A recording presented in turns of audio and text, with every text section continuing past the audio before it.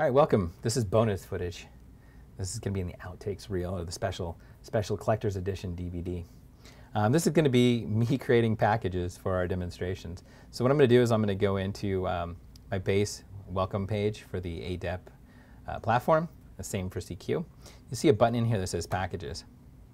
Hit this, and what we'll see is um, the packages that are installed in your system or um, and some of the hot fixes. What we're going to do is we're going to create a new package. I'm going to create a package that I'm going to share with you all for um, that includes the overlaid text component.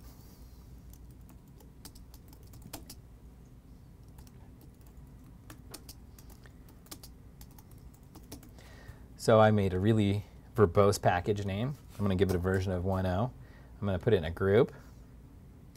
Uh, my group is Adobe to Adobe Share. This just is a nice naming convention, one, because I like saying our team name over and over again. Um, and then also it just keeps everything together. So now we have an overlay text component the package that's been defined. Uh, we're going to need to go into Edit and modify it. Um, if we go into Edit Package, we'll see that there's some basic options here. Um, put in a description.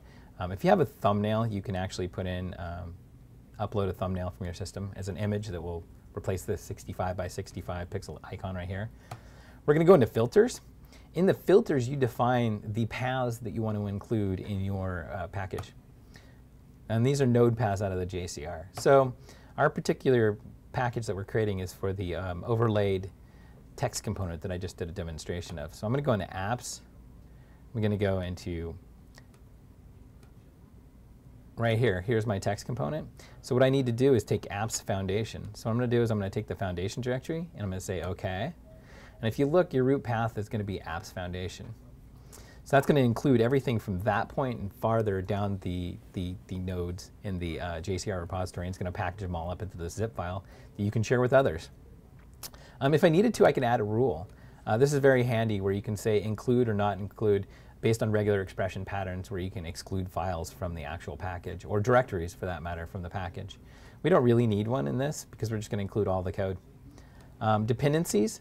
This tab defines dependencies for this package. Um, it, say you have a dependency on another package or a version name, um, or this replaces another package. Uh, this is where you define all of that.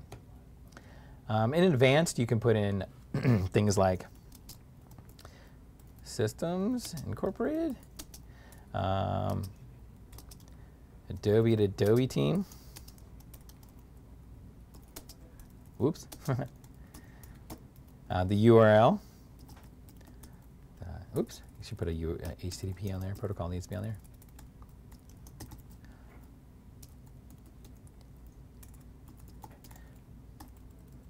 Put our little link to our blogs there. and then if I had this package out there already, I could put a link to the package. Um, and then it defines some extra um, requirements. Anyways, that's basically us putting the package together with some nice text metadata about the package. now the package hasn't been built yet, and it says build status here. So if you hit build, you'll notice down here in the, in the activity console, you'll notice what it's doing. It's going through and it's building a package, and this is the package name, and it's going to be a zip file. And it's going through and putting together um, a vault structure to be distributed. So if you look, there's a meta inf directory, um, the vault configuration, the vault uh, filters, node types that might be included in this package, properties. and then it's going through and grabbing the content.xml. This is basically your node uh, definition for apps. Um, and then it's grabbing the definition for the foundation node. Then it's going in and it's grabbing all the content that was in that path that I defined. And it's uh, built it out now. Now we can take this component and we can hit the share button and share it on the DayCQ um, package share or the Adobe package share. Um, or we can just download this and we can just download it and save it locally. It's a great way to distribute uh, your package from system to system. Another trick is um, now that you have this package defined, say you need to deploy it to another to your publish instance.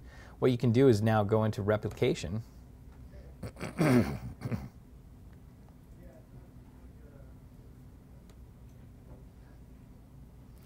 you go into your replication directory, or no, I'm sorry, not replication directory.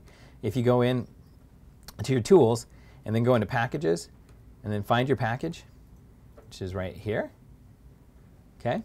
Now you can use replication to deploy this to your other nodes in your cluster. So if you right click and hit activate, you can actually deploy this component um, to your published instance. It's a really handy way to deploy your package. So that was packages.